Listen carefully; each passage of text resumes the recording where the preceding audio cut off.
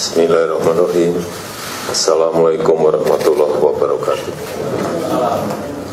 Yang saya hormati Pak Wapres, Bapak Ibu sekalian, para menteri.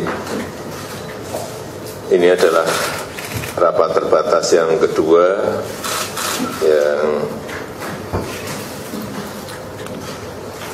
berbicara mengenai pemindahan ibu kota negara. Setelah ke lapangan dan mendapatkan beberapa kajian meskipun belum selesai 100% sudah semakin mengerucut dan pilihannya juga sudah jelas bahwa ibu kota negara akan dipindahkan di Kalimantan di Kalimantan. Provinsinya di mana? Ini yang harus didetilkan lagi. Banyak pilihan yang telah ditindaklanjuti oleh Bapenas, oleh PU,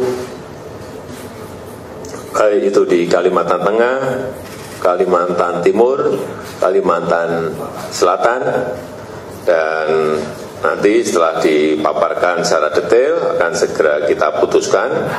Tapi sekali lagi kajian-kajian yang berkaitan dengan kebencanaan, baik itu banjir, baik itu e, gempa bumi, kajian yang berkaitan dengan daya dukung lingkungan, termasuk di dalamnya adalah ketersediaan air, lahan, infrastruktur, kajian yang berkaitan dengan keekonomian, kajian dari sisi demografi, kajian sosial politik, kajian pertahanan keamanan, semuanya harus dilihat lebih detail lagi sehingga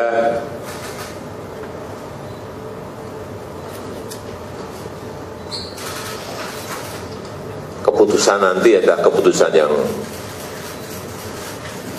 benar dalam visi ke depan kita dan sekali lagi eh, kita memutuskan ini, saya memutuskan nantinya bukan sebagai kepala pemerintahan tetapi sebagai kepala negara. Kita harus melihat visi besar 10 tahun yang akan datang, 50 tahun yang akan datang, 100 tahun yang akan datang. Dalam kita berbangsa dan bernegara. Dan saya juga minta agar pengalaman negara lain dalam pemindahan ibu kota juga dipelajari. Faktor-faktor apa yang menjadi hambatan sehingga kita bisa mengantisipasi sedini mungkin. Dan sebaliknya faktor-faktor kunci keberhasilan yang bisa kita adopsi, yang kita bisa adaptasi, kita ambil. Dan terakhir saya minta mulai disiapkan mulai dari sekarang mengenai skema pembiayaan baik yang bersumber dari APBN maupun non APBN juga yang berkaitan dengan desain kelembagaan yang diberi otoritas nantinya dan juga yang paling penting adalah payung hukum regulasi mengenai pemindahan ibu kota ini. Saya rasa itu yang bisa saya sampaikan sebagai pengantar.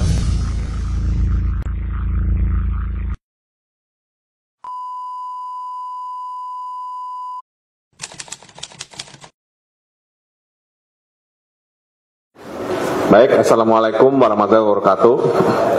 Uh, pada ratas yang baru saja selesai uh, dipimpin langsung oleh Bapak Presiden, uh, tadi kita membahas hasil dari kajian lengkap yang dilakukan oleh tim pemerintah yang dipimpin oleh Bapak Nas bersama beberapa kementerian, terutama Kementerian PUPR, ATR BPN, Kementerian LHK, dan berbagai badan yang terkait kami tadi paparkan mengenai pertama tiga kandidat. Ya, jadi seperti disampaikan Bapak Presiden di awal bahwa pemindahannya adalah ke Kalimantan. Dan tadi kami menyampaikan analisa dari masing-masing kandidat dari Kalimantan Tengah, Selatan, Kalimantan Selatan maupun Kalimantan Timur. Dan kemudian kami sampaikan kelebihan dan kekurangannya Demikian juga setelah itu kami menyampaikan bagaimana kira-kira bentuk kota yang akan dibangun di pusat pemerintahan baru tersebut dan skema pembiayaannya. Nah, dari hasil rapat tadi, uh, intinya Bapak Presiden akan segera membuat pengumuman mengenai lokasi definitifnya atau lokasi pastinya. Ya, tapi yang pasti ya satu di antara tiga tersebut. Yang kedua mengenai skema pembiayaan, oh, kedua mengenai standar kota. Bapak Presiden memberikan arahan agar pusat pemerintahan baru nanti yang dibangun mempunyai standar kota yang internasional yang tentunya harus menjadi rujukan dari pengembangan kota-kota lain yang ada di Indonesia dan tentunya semua prinsip yang modern, prinsip yang bisa menjaga keberlangsungan kota dan juga misalkan kehidupan kota yang lebih nyaman itu akan menjadi fokus dari desain ibu kota baru yang akan disampaikan. Yang ketiga mengenai pembiayaan sudah disepakati oleh Bapak Presiden bahwa sumbernya adalah ada tiga yaitu dari APBN, dari kerjasama pemerintah badan usaha dan dari partisipasi swasta BUMN. Jadi tiga pihak. Nah khusus yang APBN, untuk APBN sendiri kita akan berupaya melakukan yang namanya kerjasama pengelolaan aset, terutama aset yang ada di Jakarta yang nantinya akan pindah maupun aset nanti di tempat baru. Jadi artinya meskipun menggunakan APBN, tapi tidak akan mengganggu prioritas pembangunan lain yang sudah ada dalam APBN. Ya, jadi ini sifatnya karena ada potensi penerimaan yang cukup besar dari aset yang ada di Jakarta saja maka kita akan mengupayakan agar kerjasama pengelolaan aset yang di Jakarta ini bisa dipakai untuk membangun yang di ibu kota baru. Nah, jadi kesimpulannya adalah penggunaan APBN murni dalam pengertian mengambil dari sumber lain hampir tidak ada.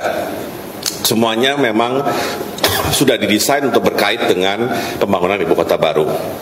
Kira-kira itu tadi hasil rapatnya tentunya tadi Bapak Presiden banyak menyampaikan mengenai eh, hal-hal uh, yang harus dilakukan ketika penentuan lokasi sudah dilakukan. Oke. Okay.